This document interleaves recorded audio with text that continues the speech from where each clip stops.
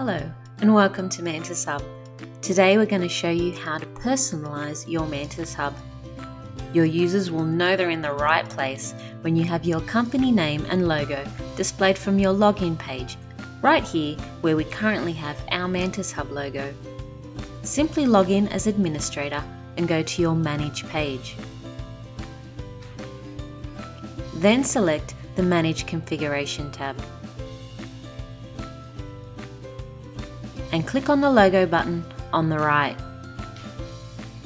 This is where you type in your company name as you'd like it to appear and upload your logo image file. Make sure the file is no bigger than 50k.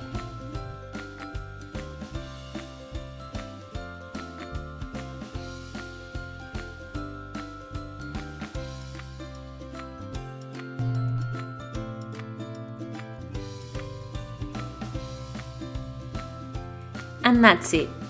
You can see your company name is now displayed.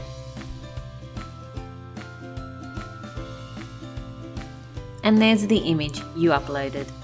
Now it's really yours. Welcome to MantisHub and thanks for listening.